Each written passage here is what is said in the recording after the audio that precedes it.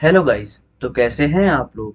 Welcome back to crazy that is concept revision any time anywhere for JEE Mains JEE advance and other engineering exams जैसा कि हम जानते हैं कि JEE mains जो कि ट्वेंटी अप्रैल से होने वाला था, वो कोविड के इंक्रीज होने के कारण पोस्टपोन हो गया है। साथ ही बोर्ड्स भी पोस्टपोन हो गए हैं।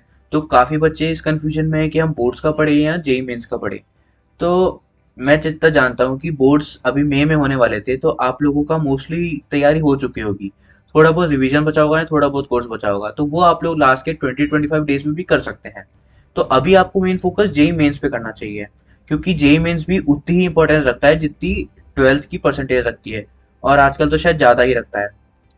ठीक है तो अब उस बारे में बात करते हैं कि कुछ बच्चे अभी ये सोच रहे हैं कि अब जेई मेन तो पोस्टपोन हो गया है लास्ट ईयर की तरह शायद सितंबर तक जाएगा तो अभी तो हम आराम से मज़े कर लेते हैं, थोड़े दिनों बाद पढ़ाई शुरू करेंगे। तो देखो बिल्कुल भी टाइम वेस्ट नहीं करना है। आप लोगों को रेस्ट चाहिए तो थोड़ा रेस्ट ले सकते हैं कि आप अपनी पढ़ाई करने के आवर्स कम कर सकते हैं, लेकिन एक दिन भी अगर आप नहीं पढ़ेंगे ना तो आप तीन से चार हज़ार बच्चों से पीछे हो जाएँगे, क्योंकि बाकी सब तो पढ़ रहे हैं तो आपको भी पढ़ना है। तो अब हम ये बताना चाहेंगे कि कुछ बच्चे ऐसा सोच रहे होंगे कि अभी हम टेस्ट दें या फिर और पढ़ाई करें या फिर रिवीजन करें तो उनके लिए मैं बताना चाहूँगा कि लास्ट टाइम पे रिवीजन ही सबसे बेस्ट होता है, लेकिन अभी जब हमारा टाइम इंक्रीज हो गया है तो सिर्फ़ रिवीजन से काम नहीं चलेगा। अभी हमको सबसे पहले तो एक चेकलिस्ट बनानी चाहिए। तीनों सब्जेक्ट्स की फिजिक्स केमिस्ट्री मैथ्स जिसमें कि सारे चैप्टर्स हों, ठीक है? तो ये सब देखने के लिए आप इस पूरी वीडियो को देखिएगा लास्ट तक और ज़रूर लाइक सब्सक्राइब करना। अगर आपको अच्छा लगे और आपको ऐसी और वीडियोस देखनी हो, हम कॉन्सेप्ट वाइज भी वीडियोस डालते हैं अलग अलग कॉन्सेप्ट को समझाने की तो ज़रूर सब्सक्राइब कर दीजिएगा और बेल आइकन ज़रूर दबा दीजिएगा। ठीक है? तो अब सबसे पहले मैं आपको ये बताना चाहूँगा कि आप एक चेकलिस्ट बनाइएगा। जैसे हमने ये बना रखी है, आप इसको कॉपी कर सकते हैं, इसका प्रिंट निकलवा सकते हैं, या आप खुद की भी बनवा सकते हैं। तो अब जैसे मैथ्स है, इसमें मैंने सबसे ऊपर ये छह चैप्टर जो रखे हैं, ये सबसे इजी चैप्टर्स हैं। मतलब जल्दी पढ़ सकते हो आप इनको, जल्दी इनको तैयार कर सकते हो और इनका जो वेटेज है वो काफ़ी अच्छा है। एक एक क्वेश्चन तो हर पेपर में आता ही है। तो जब हमको फ्री के छह क्वेश्चन मिल रहे हैं तो हम क्यों छोड़े? इसीलिए मैं कहना चाहूँगा कि सबसे पहले आप इन चैप्टर्स को पक्का कर लीजिए। ये टाइम कम लेते हैं? एग्ज़ाम जेई मेन्स जो है, वो आपकी स्पीड और एक्यूरेसी को टारगेट करता है। तो ये ये चैप्टर्स जो हैं, इनके क्वेश्चंस आप जल्दी जल्दी कर सकते हो। तो इन चैप्टर्स को तो हमें करना ही चाहिए, सबसे पहले करना चाहिए, लेकिन क्या करते हैं, हम इनको लास्ट के लिए छोड़ देते हैं, और वो लास्ट टाइम कभी आता ही नहीं, क्योंकि कोर्स कभी पूरा नहीं होता। चलिए ठीक है, वो सब छोड़िए। तो सबसे पहले आप इनकी चेकलिस्ट बनाइए। अब इनके हिसाब से आप टिक करते जाइए, जैसे मान लीजिए आपका सेट्स हो गया तो आप इसको टिक कर दीजिए कि ये चैप्टर मेरा हो गया, ये मेरा हो गया। ऐसे आपकी लिस्ट बन जाएगी पूरे चैप्टर्स में से कितने चैप्टर हो गए, और जो जो नहीं होंगे उनके आगे आप रिविजन में डेट लिख सकते हैं। जैसे मैं जैसे मैं लिखता हूँ कि मैं थर्ड मे को करूँगा इसका रिविजन ठीक है? और उस दिन आपको रिवीजन करना है तो करना ही है मतलब वो डिले नहीं होना चाहिए। अब आ, ऐसे करके आप पूरी चेकलिस्ट बना देंगे उसको आप अपने संभाल के रखिए। जैसे कुछ बच्चे तो क्या करते हैं वो दीवार पे लगा देते हैं ताकि उनको दिखता रहे और वो उस चीज़ से मोटिवेटेड फील करते हैं। ठीक है? तो ये तो हो गई मैथ्स ऐसे ही सेम आप फिजिक्स में बनाइए. जो जो इजी चैप्टर्स होते हैं, उनको पहले पहले करिए और उनके रिवीजन जल्दी हो जाता है कि, क्योंकि कुछ चैप्टर्स होते हैं, जैसे ये काइनेमेटिक्स हो गया एनएलएम हो गया वर्क एनर्जी पावर हो गया, ये स्टार्टिंग के चैप्टर होते हैं. ये हमने बहुत अच्छे से करे होते हैं, बहुत टाइम लेके स्टार्टिंग में करे होते हैं तो इनका रिवीजन भी बहुत जल्दी हो जाता है. और ये अपन को सबसे, अपने सबसे बेस्ट टॉपिक्स रहते हैं ये. कि इनका कोई भी क्वेश्चन अपन कर ही देते हैं। ठीक है? तो इनको सबसे पहले रिवीजन पे रखिए ताकि आप लोगों का कोर्स जल्दी जल्दी कवर अप होता जाए। ऐसे ही सेम केमिस्ट्री में मोल कॉन्सेप्ट हो गया या ऑर्गेनिक में देखा जाए तो जीओसी हो गई एरोमेटिक कंपाउंड्स हो गया हाइड्रोकार्बन हो गया, ये चैप्टर्स टाइम लेके पढ़ाए जाते हैं और बहुत अच्छा अपना इन पे पकड़ बैठ जाती है। तभी अपन को आगे के टॉपिक समझ आते हैं। तो इसलिए इनको सबसे पहले करिएगा और चेकलिस्ट बनाएँगे तो आपको समझ आ जाएगा कि आपका कितना कोर्स हो गया है। और उससे आपको एक आइडिया भी मिलेगा कि आपको कितना पढ़ने की ज़रूरत है और एक मोटिवेशन भी मिलेगा कि मेरा इतना कोर्स हो ही चुका है मतलब इतना तो मैं कर ही लूँगा। इतने परसेंट मार्क्स तो मेरे आ ही जाएँगे। ठीक है? अब उसके बाद हम नीचे आते हैं कि हमें वीक प्लान करना है। जैसे हम मैं ये सजेस्ट करूँगा कि आप लोगों को फ़र्स्ट वीक में पहले थोड़ा सा रिवीजन कर लेना चाहिए। ठीक है? उसके बाद सेकेंड वीक से, जो जो आपको टॉपिक सबसे बेस्ट लगते हैं ना, उन सबका पहले रिवीजन कर लीजिए फ़र्स्ट वीक में, तीनों सब्जेक्ट्स मिला के, ठीक है? जो रह गए कोई बात नहीं, उनको सेकेंड वीक से करेंगे, ठीक है? अब सेकेंड वीक से आपकी प्लानिंग क्या रहनी चाहिए कि आपने जो चेकलिस्ट बनाई थी, उसमें मान लीजिए आपका जो कोर्स है, वो लेस देन फिफ्टी परसेंट है। तो पेपर आपको दो, हर वीक में करने ज़रूरी है। सात दिन होते हैं एक वीक में, ठीक है? दो दिन आप पेपर के रखिए, और दो दिन मतलब बाकी के पाँच दिन तो आपके पास पूरे पूरे खाली है। उनमें आप एक्स्ट्रा भी पढ़ सकते हो रिविजन भी कर सकते हो, जो भी करना चाहो आप सब कर सकते हो, लेकिन दो दिन कम से कम एक वीक में रखने हैं पेपर देने के। अब पेपर में क्या करेंगे? जब आप पेपर देंगे तो तीन घंटे का पेपर होता है। ठीक है? वो तीन घंटे का आप पेपर दोगे, उसके बाद आप काफ़ी एग्जॉस्टेड फील करोगे तो चलिए थोड़ा रेस्ट कर लो, एक घंटा, ठीक है रेस्ट कर लो। उसके बाद क्या? उसके बाद पढ़ना शुरू कर देंगे। नहीं, ऐसा नहीं करना है। हमें उस पेपर के सॉल्यूशंस निकालने हैं। और जो क्वेश्चंस हमारे गलत हुए हैं ना, उन सभी के सॉल्यूशन देखने हैं। देखो बार बार वो क्वेश्चंस रिपीट होते हैं। जेई मेंस में मोस्टली क्वेश्चंस रिपीटेड ही आते हैं। तो उन क्वेश्चंस को आप, जो आपके गलत हो रहे हैं, उनको देखोगे तो अगली बार वो गलत नहीं होंगे। चलो, एक और बार मान लो गलत हो गए तो तीसरी बार तो वो गलत नहीं होंगे। तीसरी बार तक तो आपको आंसर ही याद हो चुका होगा कि इसका आंसर तो ऐसे निकालते हैं। इसीलिए ठीक है। अब मान लीजिए आपका कोर्स फिफ्टी परसेंट है तो आपको दो से तीन पेपर एक वीक में करने चाहिए। और इसके डेज़ यहाँ लिख देना। जैसे मान लो कि मैं सोच रहा हूँ कि मैं एम डब्ल्यू एफ़ में करूँगा मंडे वेनसडे फ्राइडे तो मंडे वेनसडे यहाँ लिख दिया। यहाँ लिख दिया मैंने मंडे वेनसडे फ्राइडे ठीक है। तो ये आप लोगों को करना ही करना है। मतलब उस दिन तो पेपर करना ही है। और कोई भी काम हो, कितना ही इंपॉर्टेंट काम हो, ये पेपर करना ज़रूरी है। पेपर के बाद पेपर का एनालिसिस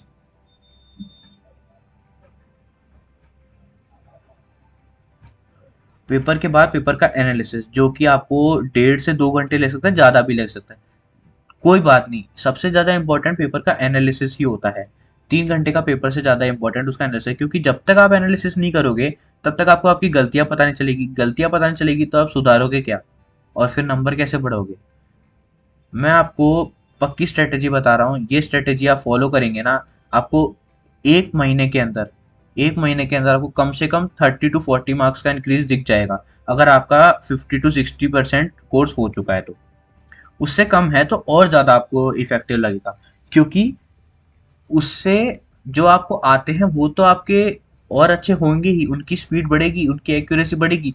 लेकिन जो चैप्टर नहीं आते ना, उनके भी काफ़ी क्वेश्चन ऐसे होंगे जो हो जाएँगे, याद हो जाएँगे आपको कि इनको ऐसे ही करना होता है। ठीक है तो वैसे ही हमने कोर्स कंप्लीशन देगा सिक्सटी टू सेवेंटी परसेंट उनका फोर पेपर सा वीक कर दिया। अब सेवेंटी परसेंट है तो मतलब आप लोगों को ज़्यादा कोर्स करने की ज़रूरत नहीं है। तो आप लोग six paper six paper a week आराम से कर सकते हैं। जितने ज़्यादा पेपर करेंगे, उतनी ज़्यादा आपकी स्पीड इंक्रीज होगी, उतनी ज़्यादा एफिशिएंसी इंक्रीज होगी। और एनालिसिस में भी कम टाइम लगा क्योंकि इतना कोर्स हो चुका है तो एक्यूरेसी अच्छी ही होगी। ठीक है। अब आगे बढ़ते हैं टाइम टेबल पे। देखो, सबसे ज़्यादा इंपॉर्टेंट होता है आपका टाइम टेबल मेंटेन करना। क्योंकि ऐसा नहीं होता कि हम एक घंटा पढ़ रहे हैं, फिर हम दो घंटे वेस्ट कर रहे हैं टाइम फ़ोन चला रहे हैं इंस्टाग्राम स्क्रोल कर रहे हैं या कुछ भी वेस्ट कर रहे हैं। ठीक है। तो हमने ये टाइम टेबल बनाया है। आप अपने हिसाब से दूसरा टाइम टेबल बना सकते हैं, इससे रिलेटेड या इसको देखकर अपना खुद का बना सकते क्योंकि हर किसी के पढ़ने की स्ट्रेटेजी अलग होती है। लेकिन टाइम टेबल बनाना ज़रूरी है और उसको फॉलो करना और भी ज़रूरी है। तो मेरे हिसाब से तो सुबह छः बजे उठिए। ठीक है, सुनने में अजीब सा लगता है और काफ़ी लोगों को आदत नहीं होती सुबह जल्दी उठने की, लेकिन जल्दी उठने से आप लोगों का माइंड फ्रेश रहता है और दूसरा कि जब पेपर में नंबर कम आते हैं मार्क्स कम आते हैं तो फ्रस्ट्रेशन कम होता है। जो नींद होती है, वो प्रॉपर होती है, उससे अपना माइंड अच्छी उसमें रहता है मेंटल हेल्थ अच्छी रहती है। तो आप लोगों को उससे कोप अप करने में दिक्कत नहीं होती, ठीक है? अब आप उठ गए, थोड़ा ब्रश वगैरह करिए फ्रेश हो जाइए और कुछ वॉक कर लीजिए, गाने सुन लीजिए एक्सरसाइज करिए, थोड़ा फ्रेशन अप हो जाइए, ठीक है? उसके बाद अपना डे जो है, वो ऑर्गेनिक और इनऑर्गेनिक केमिस्ट्री से स्टार्ट कर दीजिए। क्योंकि केमिस्ट्री जो है, वो सुबह सुबह पढ़ने से याद रहती है। ऐसा सच में होता है, ये कोई मतलब मान्यता नहीं है ये, सच में होता है। ऑर्गेनिक केमिस्ट्री का जो नोट्स होते हैं, आपके कोचिंग के नोट्स होंगे या आपके खुद के सेल्फ नोट्स होंगे, और सेल्फ नोट्स बनाना बहुत ज़रूरी होता है तो वो ज़रूर बनाना शॉर्ट नोट्स जो होते हैं। ठीक है, इनको एक एक घंटा सुबह पढ़िए, इसके नोट्स पढ़िए, ढंग से पढ़िए याद हो जाने चाहिए। ऑर्गेनिक इनऑर्गेनिक भी वैसा ही होता है। सिमिलर क्वेश्चंस रिपीट होते हैं, लेकिन जब तक आपको याद नहीं होंगे, तब तक आप कर नहीं सकते। और सुबह सुबह पढ़ेंगे तो आपको इजीली याद रहेंगे, क्योंकि माइंड में इतनी ज़्यादा चीज़ें नहीं चल रही होती उस समय। ठीक है? अब ये हो गया आपका एक एक घंटा। तो उसके बाद आपको पिछले दिन आपने जो पढ़ा, वो रिवाइज कीजिए। देखो स्टार्टिंग में टाइम लगेगा। स्टार्टिंग में थर्टी टू फोर्टी मिनट्स लग सकते हैं फोर्टी फाइव मिनट्स एक घंटा भी लग सकता है। लेकिन जैसे जैसे आप प्रीवियस डे का रोज रिविजन करते रहेंगे तो वो टाइम कम होते होते पंद्रह बीस मिनट तक आ जाएगा। तो इतनी देर में आप अगर पिछले दिन का रिवाइज कर रहे हैं तो मतलब आपकी एफिशिएंसी डबल हो रही है। ठीक है? अब इसके बाद आपको मैथ्स करनी है टारगेट सेट करके। कैसे सेट करना है? देखो एग्ज़ाम में आपको मैथ्स के थर्टी क्वेश्चन में से ट्वेंटी फाइव क्वेश्चन करने हैं। तो उसके लिए टाइम कितना होता है? देखो, मैंने जब जेई मैथ्स का पेपर दिया था तो मैं मैथ्स को 80 मिनट्स रखता था 80 80 टू 85 मिनट्स देता था, और बाकी सब्जेक्ट्स को बाकी का टाइम देता था। आपके ऊपर है कि आप कितना टाइम देते हो? लेकिन at least two two two point five minutes एक क्वेश्चन में ज़रूरी होते हैं ऑन एन एवरेज तो उस हिसाब से मैं ये आपको कहना चाहूँगा कि अगर आप थर्टी क्वेश्चन का टारगेट रख रहे हो तो उनको सिक्सटी मिनट्स में करने का ट्राई करो। आप टू मिनट्स में करने का ट्राई करोगे, तब जाके वो टू पॉइंट फाइव मिनट्स में एग्ज़ाम में होंगे, क्योंकि एग्ज़ाम में प्रेशर रहता है। ठीक है? तो आपने सिक्सटी मिनट्स का एक अलार्म लगा दिया। उसमें आपको थर्टी क्वेश्चन करने हैं। ठीक है? अब थर्टी में से आप मान लो पहले दिन आपसे ट्वेंटी हुए या ट्वेंटी फाइव हुए, दूसरे दिन बढ़ेंगे, तीसरे दिन बढ़ेंगे, एक वीक के अंदर आपकी, आपको वो अपने अंदर इम्प्रूवमेंट मिलेगा कि आप, आपकी स्पीड इंक्रीज हो रही है।